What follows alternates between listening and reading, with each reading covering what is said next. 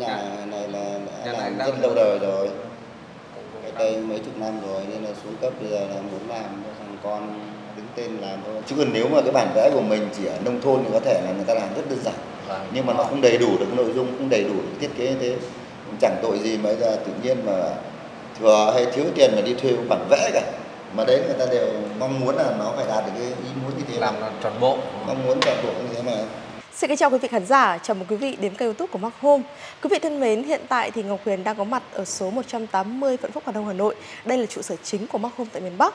À, và ở nơi đây thì tầng 1, tầng 2, tầng 3 sẽ là showroom trưng bày tất cả các sản phẩm, vật tư vật liệu, thiết bị vệ sinh, thiết bị nhà bếp do móc hồ của chúng tôi trực tiếp sản xuất và phân phối độc quyền. Và nếu như quý vị nào gần khu vực này thì có thể qua đây này trực tiếp tham quan trải nghiệm sản phẩm cũng như là mang về cho mình những phần quà giá trị nhất. Và ngày hôm nay thì à, ngay bên cạnh tôi lúc này đó chính là anh à, kỹ sư Trần Trinh ạ. À, ngày hôm nay thì anh Trinh sẽ cùng với tôi đó, à, có một nhiệm vụ vô cùng đặc biệt và chính là sẽ trực tiếp à, mang cái bộ hồ sơ thiết kế này đấy, về gia đình của nhà khách hàng nha quý vị. À, và trong cái bộ hồ sơ này thì đây ngay bây giờ chúng tôi sẽ cùng nhau để mở ra để khám phá xem bên trong này có gì nha quý vị. À, đầu tiên thì ạ, anh Trinh có thể giới thiệu cho em biết là có cái bản dự toán này thì cần làm cái gì không ạ? À, chào quý vị các bạn nhé. Thì à, bộ hồ sơ có khách hàng là luôn luôn nó sẽ có hồ sơ đầy đủ từ kiến trúc kết cấu, điện nước và cuối cùng nó sẽ là bóc tách lên một cái dự toán chi tiết của công trình có khách hàng là hết bao nhiêu khối lượng vật tư vật liệu và nó sẽ ra được cái đơn giá của khối lượng vật tư vật liệu đấy để khách hàng người ta nắm bắt và ờ, và và gọi vật tư vật liệu có thể là tự thi công thì khách hàng sẽ gọi vật tư vật liệu và và nắm bắt được cái khối lượng của mình là hết bao nhiêu để người ta sẽ không bị phát sinh về những cái lúc vào xây dựng sau này. Đấy. Đó là chúng ta phải cần thiết có cái bản Dạ. dự toán này. Đúng rồi. Và ngoài ra thì chúng ta sẽ còn có thêm hai bộ hồ sơ A3 nha. Hai bộ là hoàn toàn giống nhau nha quý vị. Ở dưới này nữa. Đây sẽ là cái phần chính đúng không anh Trinh? Đúng rồi. Để mà xây dựng lên này. được một công trình à, mỗi khách hàng mà muốn xây dựng lên một công trình để cho nó thuận tiện hiện đại và đẹp và và và nó chuẩn ấy, thì mình sẽ nên phải có một bộ hồ sơ thiết kế này. Ừ. Thì hai bộ này công ty họ sẽ in thành hai bộ, có thể là mình chủ nhà sẽ giữ một bản, còn khách hàng à, thợ thi công họ sẽ giữ một bản để mình có cái con số để mình thi công. Thì trong cái hồ sơ này nó sẽ đầy đủ từ phần uh, kiến trúc, kết cấu, điện nước và 3D mẫu nhà cho nhà mình. Đấy. Nói chung là trong bộ hồ sơ này nó sẽ đầy đủ từ cái phần xây xây tường và kích thước như nào nó chi tiết đầy đủ để khách hàng có thể hình dung và dễ, dễ nhìn thấy. Đấy. Ừ. À, vậy thì cái bộ hồ sơ này không biết là từ lúc mà à, chúng ta bắt đầu về nhà gia đình khảo sát này đến lúc mà hoàn thiện xong cái bộ hồ sơ này thì nó mất khoảng tầm bao nhiêu lâu ạ anh? À, để ừ, xây dựng lên một bộ hồ sơ hoàn thiện đầy đủ này thì à, từ lúc khảo sát đến lúc thiết kế về giao thì nó sẽ rơi vào tầm 30 ngày các bạn nhé. Thì à, vì cái hồ sơ này có thể là mình không thể ẩu được mà mình làm nó phải chỉnh chu chi tiết từng công đoạn một đấy. Nên là sẽ mất một tháng. Thì à, hôm nay thì à, tiện là hồ sơ đã xong xuôi và kịp vào tiến độ cho khách hàng là tháng 6 của khách hàng à, khởi công thì công ty sẽ mang về giao cho khách hàng để có sang tháng khách hàng đầu tháng khách hàng sẽ khởi công vào tháng 6 này. Dạ vâng. Vậy thì ngay bây giờ chúng ta sẽ cùng nhau đóng bộ hồ sơ lại để mang đến à, tận tay khách hàng nha. Ok. Xin mời.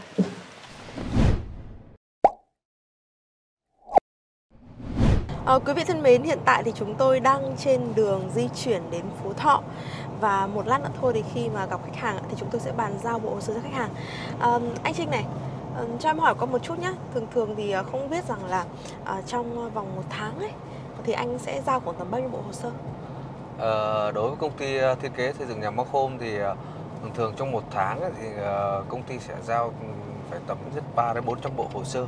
Thì Ừ. riêng một mình cái phòng kỹ thuật của Ui. mình đã tầm 10 người. Thì một tháng của mình mình riêng mình đã cũng phải giao tầm 3 bộ 40 bộ hồ sơ. Đấy. Nên là cái lượng khách hàng tin tưởng Mark Home khá là đông và nhiều nên là hồ sơ rất là nhiều. À, dạ vâng. Vậy thì mỗi một lần mà đi giao bộ hồ sơ đấy, hình như là bộ hồ sơ là cái bước cuối cùng đúng không ạ? Trong quá trình khách hàng thiết kế đúng không? Đúng rồi, bước hồ sơ này là bộ hồ sơ này là lúc mình về giao ấy, là hoàn thiện cuối cùng để mình về giao cho khách hàng để khách hàng có cái cơ sở để thi công và kết hợp với mình về giao thì mình sẽ kết hợp để mình à, chỉ bảo cho thợ ờ, trong lúc xem bản vẽ không hiểu chỗ nào thì mình kết hợp mình mình chỉnh sửa bảo cho thợ để sau này thợ thi công nó đã bị ờ, khúc mắc hoặc bị rối cái đoạn nào. À, là thế. À, như vừa nãy thì ừm, em cũng có nghe anh chia sẻ ấy, mà để à, thiết kế ra một bộ hồ sơ thì phải mất khoảng tầm từ 30 ngày trở lên đúng không ạ? Đúng rồi. Vậy thì uh, cho em hỏi nhé, vậy thì trong quá trình mà thiết kế đó ấy, thì uh, nó sẽ các bước và giai đoạn sẽ như thế nào? Ờ, để hoàn thiện một bộ hồ sơ đầy đủ ấy, đầu tiên thì có thể là một mình sẽ tiếp nhận thông tin và lên chỗ khách hàng để đo đạc khảo sát đất đai và tư vấn thống nhất với khách hàng một bước cuối cùng để là mình ký hợp đồng và thiết kế. Ký xong thì ờ, bên công ty họ sẽ lập một cái nhóm Zalo chung. Đấy sẽ add ờ, khách hàng vào cái nhóm Zalo đấy để cùng nhau trao đổi với bên công ty. Đấy, quy trình đầu tiên thì uh, các bạn nhận thông tin thì các bạn kiến trúc sư ở văn phòng họ sẽ nghiên cứu và lên cái mặt bằng công năng để để tính toán về diện tích công năng các phòng ốc cho nó chỉnh chu và và diện tích nó phù hợp đối với cái khuôn viên đất của khách hàng đấy, và sau đó sẽ gửi cho khách hàng để xem qua khách hàng có ưng hoặc là muốn phòng tầng nào to hay nhỏ nào để mình cùng nhau định chỉnh sửa Dạ. nên là các các bạn hình dung là hiểu được là để mà bộ thiết kế mà nhanh hay chậm ấy cũng phụ thuộc vào khách hàng là muốn chốt theo cái từng công đoạn là chốt nhanh hay chốt sớm à, chốt nhanh hay chốt chậm Đấy. À. vì à, vì nó có liên quan đến khách hàng nhiều khi là cũng phải ờ, bàn bạc qua gia đình mỗi người mỗi ý nhiều khi là nó sẽ bị ờ, rất rất là dối và bị chậm nên là à, mình mà triển khai thiết kế nói chung là nếu mà cái cái cái lòng tâm và cái tâm của mình nó phải vững ấy thì mình chốt nó nhanh hơn thôi còn Ừ. đấy. vì xây nhà là việc lớn nên là nhất người ờ, nhiều người hỏi ý kiến của gia đình nên là ờ, mọi người sẽ có một cái ý kiến hoặc có sở thích khác nhau ấy nên là tiến độ nó sẽ bị chậm là là do vậy thôi chứ còn bộ hồ sơ thiết kế thì làm cũng nhanh thôi nếu mà đồng đều mà thống nhất được với nhau hoàn thiện thì nó cũng nhanh thôi. Ờm, có rất là nhiều quý vị khách hàng ấy thì trong cái lúc mà chưa có làm việc cùng với Mark Home nhé rất là băn khoăn rằng là ờ, liệu rằng là trong quá trình mình thiết kế nếu mà mình không có hài lòng thì sao đúng không ạ? Đúng Tại rồi. vì sao mà chúng ta lại phải đặt cọc trước đấy.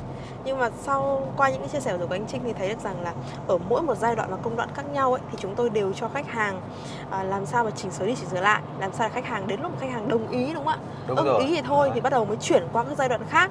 Cho nên là từ đầu đến cuối thì nó sẽ theo một cái chu trình thống nhất đảm bảo là sau này khi mà cái quá trình mà chúng ta lên một cái bản hồ sơ thiết kế ấy, thì khách hàng sẽ là người mà cảm nhận và cảm thấy hài lòng nhất thì chúng tôi mới giao Quý vị thân mến, vậy là vừa rồi thì chúng ta đã được lắng nghe những chia sẻ của anh Trinh à, trong cái quá trình mà để hoàn thiện lên một bộ hồ sơ thiết kế.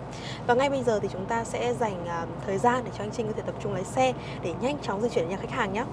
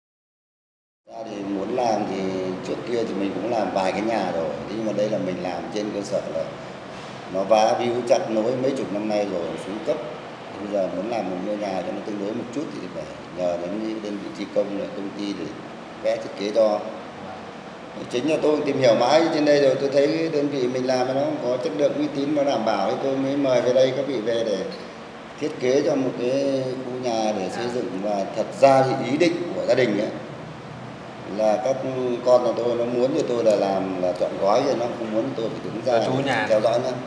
Bởi vì bây giờ một là hay đi vắng hai là có tuổi rồi Thế còn đấy công ty thì bây giờ hôm nay là công việc cơ bản hoàn thành rồi thì tí nữa tôi kiểm tra lại thôi nhưng mà trước tiên là cảm ơn công ty và cảm ơn anh em các vị đã lên đây để trao trả hồ sơ tôi Vâng. vì thực ra thì nó không đạt được cái mục đích của mình là muốn làm chọn gói nhưng mà bởi vì là thời gian nó chậm Vâng, lại dạ. là cái nhất cái thứ hai là gia đình cũng rất mong muốn để làm sao để cho nó chọn gói một ngôi nhà gọi là nó tương đối chuẩn chỉ theo đúng thiết kế của công ty mai kia mình làm nên mình muốn nó đầy đủ từ Vâng. A đến Z nó thật các vị Vâng. thế. Chứ còn nếu mà cái bản vẽ của mình chỉ ở nông thôn thì có thể là người ta làm rất đơn giản. Vâng. nhưng mà nó không đầy đủ được nội dung không đầy đủ được thiết kế như thế. Chẳng tội gì mà giờ tự nhiên mà thừa hay thiếu tiền mà đi thuê một bản vẽ cả. Mà đấy người ta đều mong muốn là nó phải đạt được cái ý muốn như thế. Làm là tròn bộ. Mong muốn toàn bộ như thế mà. Nó cái, cái này bây giờ phải có phải bóc ra kiểm tra không ạ? Có chứ chú. Vâng. phải bóc ra kiểm tra đi ạ. Có, cần dao không? Có chứ trong đây nó đầy đủ hết mà. Đấy thì ờ, trước tiên đây thì cháu xin giới thiệu lại với chú chú chú tôi tên là Long. À chú Long ạ. Bố Vâng, của cháu bố, bố, bố anh Hùng ạ. Vâng. thì ờ, hôm nay cháu là Trinh này. Đấy, cháu là nhân viên bên phòng kỹ thuật công ty thiết kế nhà băng khô. Thì ừm, chiều qua cháu mới nhận được cái lịch là có bộ hồ sơ nhà mình đã hoàn thiện xong xuôi rồi về giao cho nhà mình thì trong bộ hồ sơ này nó sẽ cũng đầy đủ các bộ phận và các file mình đã chốt về hạng cuối cùng Đấy, những cái file mình đã chốt về phần cuối cùng nhất đấy thì người ta bây giờ gộp lại là in thành hai bộ A3 này cho nhà mình Đấy. và một cùng cộng đấy là một cái dự toán à, chi tiết nhà mình là khối lượng vật tư vật liệu và ra được cái giá giá tiền đấy thì à, ở đây trong đây là trước tiên là nó sẽ là một cái dự toán cho nhà mình này. Đây là cái dự toán về lên được cái khối lượng tổng nhà mình là hết bao nhiêu khối lượng sắt xi và ra được cái dự toán là hết bao nhiêu tiền. Cái, là cái này cái này để đúng mình tham khảo và và, và mình khảo gọi rồi gọi, không? gọi vật tư vật liệu. Cái này là để mình tham khảo của mình Dạ. riêng mình biết biết thôi để mình gọi vật tư vật liệu. Dạ. và và trong đây là cái phần hồ sơ kỹ thuật để sau này mình có cái hồ sơ để mình xây dựng chú nhé thì hồ sơ này bên cháu sẽ in thành hai bộ giống nhau này thì có thể là sau này mình xây dựng thì mình sẽ gửi một bộ này cho thợ còn một bộ mình giữ lại để sau mình quản lý xem là làm có chuẩn hay không. Và thứ hai là sau này cho bên phần phần à, phần cửa với lại điện nước họ mượn họ làm. Thì cái bộ mà mình đưa cho thợ là họ hay vứt ngoài công trường nó sẽ hay bị nhàu bị rách. Đấy. cái này là nó cũng đầy đủ toàn bộ các file như thế này. Đúng rồi. Đã gửi lên dạ vâng thì thì để hoàn thiện và và in ra được cái bản A3 này thì là người ta sẽ tổng hợp lại những cái file cuối cùng mình đã chốt từng file cuối cùng mình đã chốt. Rồi nhất trí rồi cái file thì tôi đã chốt rồi. Thì Đấy. ờ, thì ở trong cái hồ sơ này nó sẽ cái mấy trang đầu nó sẽ là các view của mẫu nhà của mình đấy từng view để mình nhìn đấy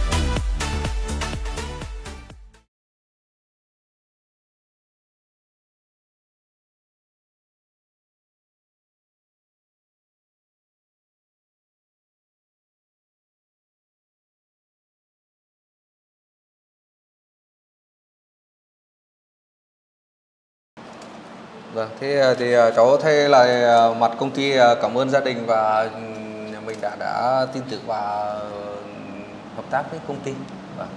Thì, À, có gì Vâng. cũng có lời xin cảm ơn toàn thể tất cả ban giám đốc và anh em trong công ty đặc biệt là hôm nay các vị đã đến tại nhà và bàn giao hồ sơ cho gia đình của tôi nhận được để tới đây xây dựng ngôi nhà Vâng. trong quá trình công việc thì có lẽ là lúc nào cần đến thì tôi sẽ thông tin để công Vâng. ty tạo điều kiện hỗ trợ Dạ vâng cái ạ. việc Thế còn tất cả mọi việc đến giờ này hoàn thiện rồi chắc có lẽ chẳng có điều gì nói nhau ngoài lời bài tâm sự thôi Dạ vâng ạ. Nếu có điều gì nó không đúng hoặc nó sai lệch hoặc nó có gì đấy phải thông cảm Dạ rồi vâng. tính tôi nó thật với cả nhà là tính nó rất thẳng thắn và nó rất là nóng tính nhiều khi là hay nói thẳng với ta Dạ vâng. À, Ai cũng vậy thôi chú vì nó là cụ thể thế thôi mình bỏ ra tiền mình thuê một công việc mình nó Vâng, phải được sự hài lòng của mình. rất muốn là mọi cái nó êm đềm và tốt đẹp và đặc biệt là nói thật sự là tôi cũng đã từng xem rất nhiều cái này tôi rất mến mộ công ty nên tôi mời công ty lên làm chứ thật ra nếu Dạ. không mến mộ không bao giờ tôi mời lên cả vâng còn gia đình nhà tôi đấy các vị biết tôi có con học kiến trúc thậm chí là mấy vị học bây giờ có cả vị còn đang làm ở tổng công ty giám sát của ờ, đường bộ Việt Nam giờ suốt ngày giám sát cái, cái, cái, cái quốc lộ 1A đường đường nữa. đường đấy tổng công ty giám sát nên là các vị làm rất nhiều món. Bên, thực ra ờ, nó là- bận việc tôi không quan trọng việc nó đến cho làm mình đâu cho mình. Còn nói là gia đình mình muốn làm công ty nó hoàn thiện thôi. Dạ Thế vâng. còn ờ, rất là cảm ơn ờ, công ty và cảm ơn đơn vị thiết kế và cảm ơn anh em liên gia đình tôi